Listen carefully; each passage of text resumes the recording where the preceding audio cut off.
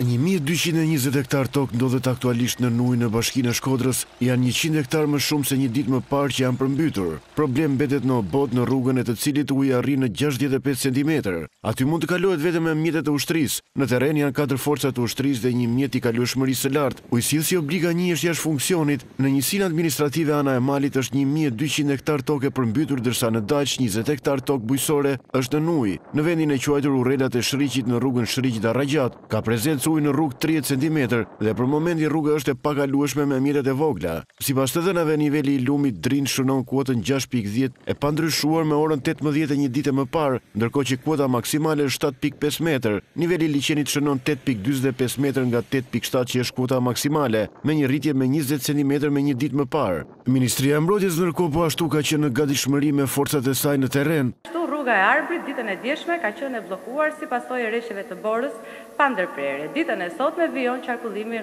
normalisht edhe në këtë aks. Nuk kanë munguar edhe rëniet e inerteve dhe gurëve në rrugët nacionale dhe rurale, për të cilat strukturat vendore dhe firmat kontraktore kanë ndërhyrë në kohë për pastrimin e tyre. Janë të dëmtuara, ura në fshatin Bardhaj e bashkisë Shkodër, ura e Gjinajve në njësinë administrative Vig-Mnelë të bashkisë Vau Dejës, ura që lidh fshatin Kolsh dhe lagjen Malësia në bashkinë Lezhë dhe ura në vendin e quajtur Kodër Mulliri po në këtë bashki, pra në bashkinë Lezhë. Ndërsa në lartësi dëbora në Qafën e Thorës arrin në një metër ndërsa rruga bllokohet nga ortekët që bien herë pas here nga mali. Autoriteti Rrugor Shqiptar njofton se tre borëpastruese dhe mjete të tjera po punojnë për pastrimin e rrugës. Për drejtuesit e mjeteve që kalojnë në këtë aks rekomandohet përdorimi i gomave dimërore dhe pajisja me zinxhirë.